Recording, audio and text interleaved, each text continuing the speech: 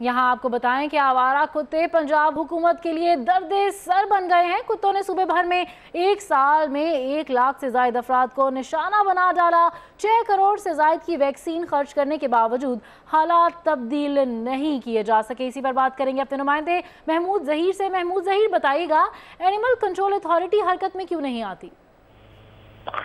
جی قرۃ اس حوالے سے میں آپ کو یہ بتانا چاہوں گا کہ بالکل بڑی انٹرسٹنگ سی صورتحال ہے۔ جیسے کہ کے پی کے میں آدم کو چوہوں کے حوالے سے کے پی کے حکومت پریشان تھی۔ اس وقت پریشان ہے پنجاب حکومت کتوں کی، حوالہ کتوں کی کاٹنے کے حوالے سے۔ یہ پچھلے سال کی ایک رپورٹ میں نے ابھی جو ٹوئنٹی فور نیوز کو کافی حاصل ہوئی ہے، وہ آپ لوگ اس وقت دکھا بھی رہے ہوں گے۔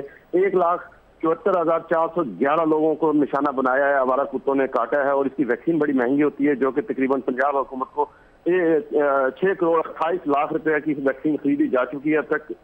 کتوں کو کاٹنے کے حوالے سے ان کو لگائی جا چکی ہے اور مزید اس حوالے سے پرچیزنگ کی جا رہی ہے۔ تو اس کا توڑ جو نکالا ہے، پنجاب حکومت نے وہی نکالا کہ تمام ڈی سی اوز کو، پنجاب بھر کے تمام ڈی سی اوز کو لیٹر لکھا ہے کہ ان کو پل فور تلف کیا جائے۔ بجائے اس کے کہ ہم لوگ ویکسین لگوائیں اور ہمارے شہریوں کو یہ کاٹیں، یہ کتے ہمارا کتے، ان کو تلف کر دیا جائے، ان کو مارا جائے۔ اس حوالے سے بہاولپور میں بڑی زور و شور سے مہم جاری ہے۔ ڈی سی او بہاولپور ایس شام انور نے اس کے حوالے سے ٹی ایم اوز جتنے بھی ہیں صدر تحصیل وغیرہ کے اور سٹی کے ان کو یہ آرڈر جاری کیے ہیں کہ جہاں پہ بھی کتا نظر آئے اسے مار دیا جی جائے۔ شکریہ محمود ظہیر اپڈیٹ کرنے کے لیے۔